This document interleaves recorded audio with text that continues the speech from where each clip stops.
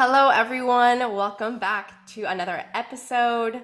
This is a really special edition episode where Jamie and I are going to go over all of the amazing lessons learned from 2022 and make sure we bring all of the advice and lessons into 2023 so that we can start off the year strong uh, with the learnings that we got from 2022 from not only our personal lives and our own journeys, but from our guests.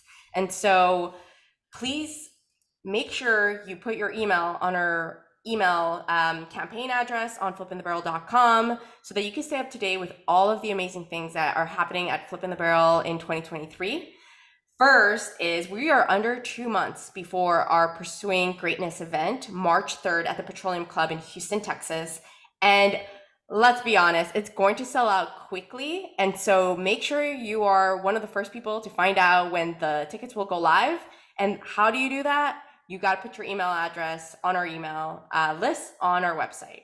And so, Jamie, I'm so excited to finally be recording this episode. We've been talking about it for such a long time. Um, we've been wanting to do this for a while, and we're just excited to be doing this with you. I know. I mean, thank you everybody for tuning in once again. And like Maciel said, we literally have been going back and forth on when are we going to release this? When can we do this? So we're really excited. We're happy to jump right into it. And for those that maybe this is like the first or second episode that you've ever heard from us, uh, we really want to just give y'all a summary of kind of how 22 went and how many episodes we actually recorded, which is really impressive. Um, so let's just go into it. Uh, so last year, uh, we did 31 episodes um, in over 80 countries. Seriously, Flipping the Barrel went global, which is just really amazing. Uh, I would have to say, having this platform and being able to do it, um, especially on Zoom, uh, really allowed a lot of people to tune in from all over and us to be able to record episodes from people all over the world, which goes into our ne- my next comment, which is going to be on the top five listened to episodes. And going back to what I just said on just being able to go global, we had Felipe Bayon, uh, the Colombia, he lives in Colombia. He's the CEO of Ecopetrol he was our number one episode last year. Uh, it would never have been possible if we weren't able to record it via Zoom. Uh, and his episode was called You Will Never Be CEO. We highly recommend y'all going and listening to that. Another top episode last year was Be Limitless with Starlee Sykes. Uh, she's the senior VP of Gulf of Mexico and Canada at BP. She's located in Houston.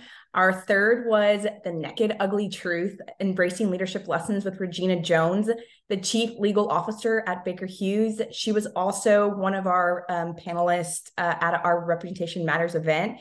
So if y'all were able to attend that, y'all know just how amazing she was and how great her story is. We highly recommend uh, listening to her. The another one was leaders get the culture they deserve. Um, that's Soma. He's the CEO of Champion X. I mean, Soma, we can't even go into describe how amazing that episode is just on culture, diversity, and how he built such an amazing company. Highly recommend. And lastly, it's Not a Race with Wendy King, the VP of the Gulf of Mexico and Rockies at ConocoPhillips.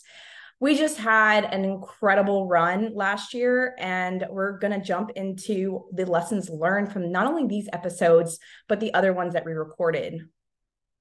Yes, Jamie, thank you for sharing the top five of FTB of 2022. Um, by the way, don't worry if you didn't write all of those down. We will link them below in the comment section of the podcast. And so you can go and check out the top five episodes. So the first lesson is take a risk. Try something new, challenge yourself by getting out of your comfort zone. All of the guests that we had on achieved big goals and success by taking a leap of faith, taking on a role that they didn't think would would be good for them, leaving to another company, moving countries. I mean, no one achieved success by staying in their comfort zone. And so that's number 1. Number 2, which we this is a question that you probably know that we ask every single guest, which is work life balance. How do you do it and does it even exist? And what we have learned is that it doesn't exist. Um, and the reason is because through life, there's different pendulums that swing. One way you might be more family oriented and things are needed during that time, and another work might be more demanding. Uh, so what we have found is that every everyone requires a different level of what they call their balance, and for some for somebody, it might not be what they think is a balanced life, but for others, it's what makes them happy. Uh, and we have really seen that through every single episode and their advice on how they handle the ups and downs of the demands of what life brings them. So at the end of all of that, basically, you know, balance looks very different for everyone, and don't compare your journey to uh, basically anybody else that you have um, surrounding you, like your neighbor. I love that one. Uh, number three is just let life work itself out sometimes. Um, a lot of the guests we had on, when we would ask them if they had, you know, big goals and aspirations of like one day becoming CEO or running a business uh, or just a lot of the high achievements that they've done, if this is something that they were like constantly battling and trying to get to it. And a lot of them said no, that this this kind of just like happened as life went on, opportunities came their way, and you know life just works itself out i was very surprised by that because i always thought that you had to like plan every single year and day to get to where you want. But really the people who make it they're not doing that. They're just really putting their best work out there you know networking doing great work and life you know a little bit of luck into it too and just letting life work itself out. And I think what's important with that one, Marciel, is that they always, many of the guests say to be present in the role that you're in today. So do the best at wherever you're at today, and the rest will come. It's when we're always striving for that next job because we think we've been in this job for two years. It's time to move on, where things tend to not work out um, in our favor, and and then we tend to rush. Uh, and the biggest advice there is really um, to be patient so that's a really, a really great one. Another one that I really like is other people's opinions don't define who you could become. If you dream it, you put the work in, that's enough. And some of our guests were even told at the very beginning they would never be able to become CEO. I mean, if you listen to Felipe Bayon's episode, he was told in middle career, like there's no way you'll ever be a CEO. And he's one today, as we all well know. And not only that, but he's an amazing leader. And a lot of times we really take to heart what other people say about us when they're not in our journey. They don't know who we can become, they don't know what we're capable of. And sometimes we're not even aware of what we're capable of yet. So I really, really want everybody listening today to understand that other people's opinions should not hold you back from your dream. And, you know, just as an example, even this podcast, we were told from the beginning stages to not do it. It's career suicide. And look at us today, three years later, and it definitely wasn't career suicide. But if we would have listened to those people, we wouldn't be here today telling you our top 22 episodes. We wouldn't have one.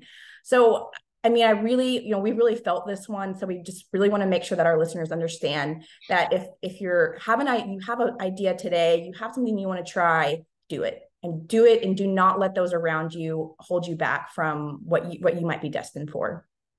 Yeah, I love that one. Um, and it's it's unfortunate, but we a lot of us do live our lives always waiting for approvals from other people and just letting other people's opinions navigate your journey but like you mentioned jamie like no one's in that driver's seat as you are and so it's it's okay to get feedback and take it and improve on certain things but at the end of the day you still have to listen to kind of like your core and what you think is right for you. Um, no one else will be able to give you that that key. Um, the number five is sponsors. These are extremely important in one's career. And by sponsors we mean someone that mentions your name when you're not in the room. And so part of sponsors is just networking. I think a lot of us forget how important networking is, specifically women. Um, you, in order to be successful in your career, from what we learned from our guests, is that you really need to have a strong network and sponsors, not only mentors, but sponsors. They're the ones who are naming you for opportunities when you're not there. Mm-hmm. Now, that's so true, Marcel. Number six is sacrifice. Um, and I think sometimes this might be overdone and we hear all the time, like, oh, to be successful, you have to sacrifice. But sacrifice comes in different forms. Um, and in need in, in your need to achieve the journey that you're on, you know, it's got to be worth the sacrifice that you're giving all of our guests during their time through their career at some point um, they had to give up something have that be a time with their family their finances a career stop, they had to take a break, time off, etc. That is something that each person did and it was unique to them.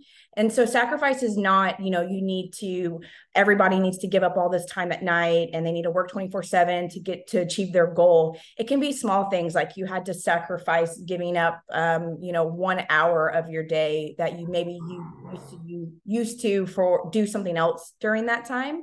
So another thing with sacrifice is that companies themselves, we even heard it in some of our episodes, they really supported their employees because they understood what they were giving up in order to do a role for them. And especially when it comes to oil and gas and energy, you know, we're a 24 7 um, uh, industry. So there's going to be times where you're gone all night long, you're gone from hitches, you're out working, you're not going to be with your family.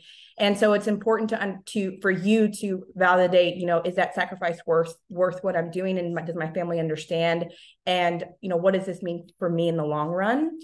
Um, so our episodes and our our guests had all talked about what they did and, and, what happened and why it why they ended up achieving their goal, giving up some some things along the way, but in the end, it was all worth it.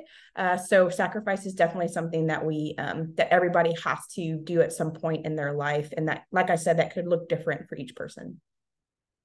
I love that. Number seven is a very important one, in my opinion. Is take care of yourself first.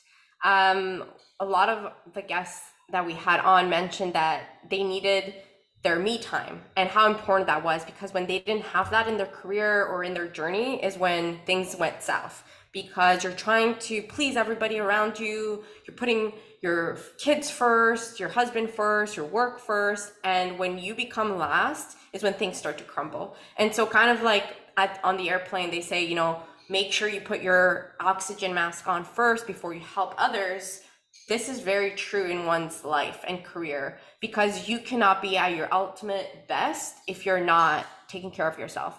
And by taking care of yourself, different guests do different things. Some are really big into just fitness, making sure they go for a run in the morning to get their minds off things, do yoga, um, taking care of their health by eating good food, uh, just you know making sure that your your body is in sync with itself in order to be the best version of you. So make sure you take care of yourself in 2023. I know that's one that you and I are definitely very keen on, especially um, you know, being a parent and having children, taking care of yourself really sits on the back burner for everyone. Um, so it's just important to not forget about you uh, because without you being your best self, your family can't be their best, best selves either. So very important one. Uh, number eight is everyone's journey is different.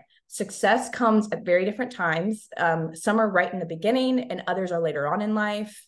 And don't give up because you feel like your age is limiting you. So many people, even it, in the podcast and outside the podcast, you know, we've seen this with different industries, not just energy. Um, they get success at 50, 60, 70 year olds.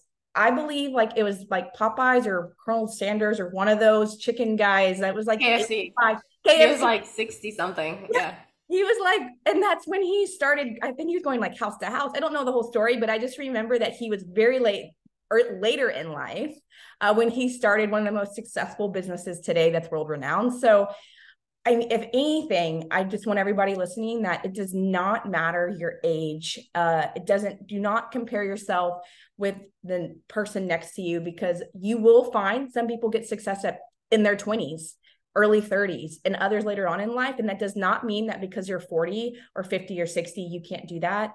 We have some episodes that even are highlighted. You can go back and look, and it's like reinventing myself at 40. We had a guest that came on that literally at 40, she started her whole life over and she's now very successful. Not like she wasn't before, but she just took it to the next level. Mm-hmm. It just, it, age shouldn't limit you, and everyone's journey is going to be different.